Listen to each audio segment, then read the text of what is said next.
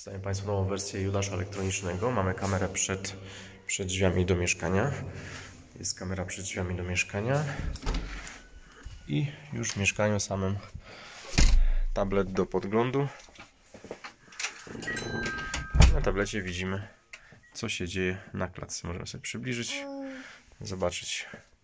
O, da się kamera przełączy w podczerwień, bo światło zgasło na klatce. Jeszcze parę sekund. O, mamy obraz podczerwieni. I widzimy sobie na klatkę, jakiś na salon, parking i tak dalej, i tak dalej. Tak to wygląda.